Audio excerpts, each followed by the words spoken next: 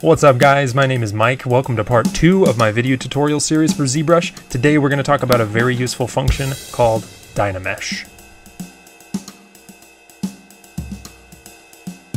A couple of the things we have to talk about are the topology of your object and the number of active points that you have when working with an object. The topology of your object is important because if you see here, you have triangles and squares, which are the two main shapes of your faces that you use in 3D when you're working on a mesh if you're using a brush like the move brush and you pull all of these polygons away from each other, they get all stretched out. The reason that this is important is because if you have a stretched out space like this and all these polygons are way, way too big, and you go down here to your, say, the clay buildup brush, and you try to draw on this, nothing happens.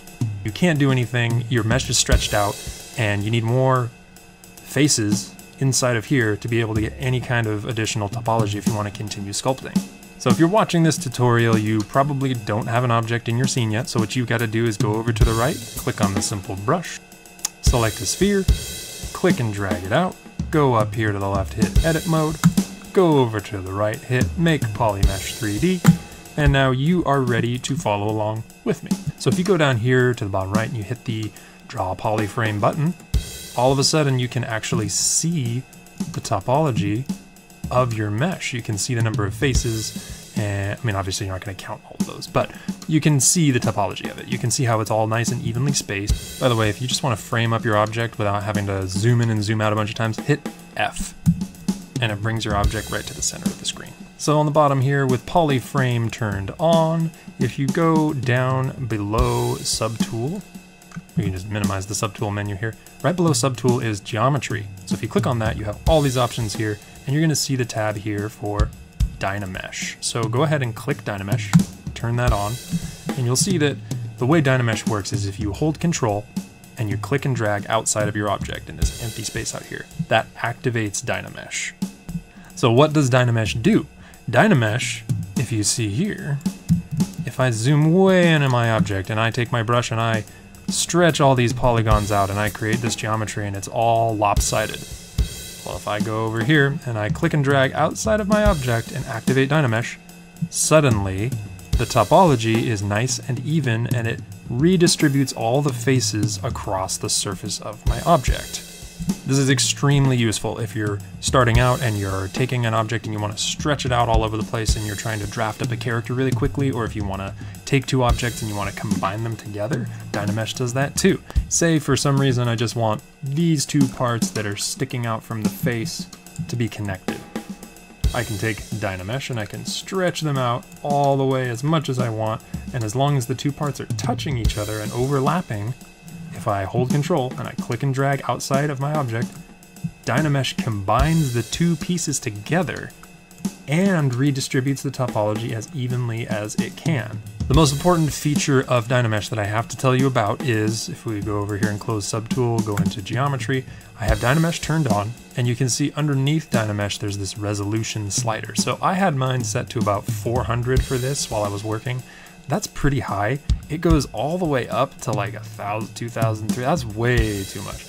Even at 400, you can see up in the corner, my active number of points is about 4 million polygons. Just on this part of the head, that's like way, way high. That's like insanely high. And I only did that because I'm just messing around. This is a tutorial and I'm showing you what to do. So if you go under to this little slider and you know, you turn it all the way down to 8, turn it all the way down, as soon as you make a change to your mesh, like you pull something or draw on it, click and drag outside of it, activate Dynamesh, you can see that it significantly reduced the number of polygons on my object and all the detail that I put time and energy into is totally lost. But fortunately, if you do this on accident, all you have to do is hit Control Z, it goes right back to where it was. So so this is extremely useful for when you're early on in the sculpting process because you can change your resolution to the level that you need and morph and shape your object to basic shape that you want it to be.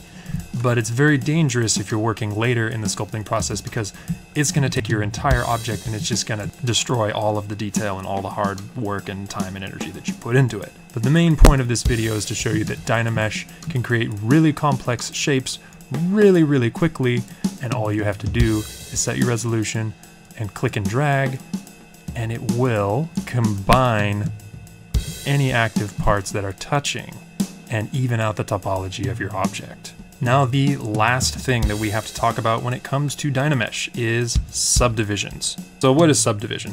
When you subdivide your object, you hit Control D, and you see in the top right corner, your active points is quadrupled. So that takes the number of faces on your object and it quadruples it all the way across your object. So if you hit Control D again, you see active points climbed up to 230,000. Hit Control D a couple more times and you've quickly gone up to 14 million polygons on your object. So that's like having subdivisions within subdivision. Like there's there's way too many. It's so dense that even if you take a brush and you try to move it, you're barely going to be able to do anything to it because there's so many polygons all over the surface of your object. So when you're activating Dynamesh, you have to be on the lowest subdivision level, meaning you cannot be on the level where you have hit Control D any number of times. So in order to go back down to your lowest subdivision level, say you've already hit Control D like five times and you have like 5 million points, hold Shift and press D, and it will walk down one subdivision level.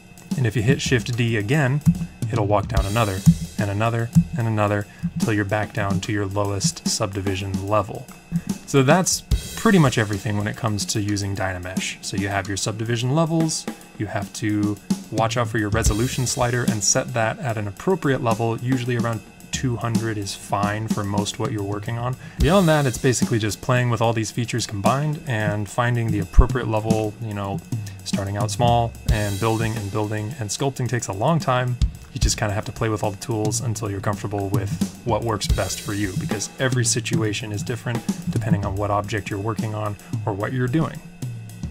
So that sums up everything you need to know about Dynamesh in ZBrush. If you guys liked this video, if you found it helpful, leave me a like. If I forgot anything or if you have any questions, please leave me a comment down below. Make sure to subscribe to my channel. Next week, we're going to talk about Z-spheres, which are extremely useful if you are drafting up a character really quickly or you have to make a base mesh for your model. But that's all we have time for today, so again, thank you, and I will see you guys next time.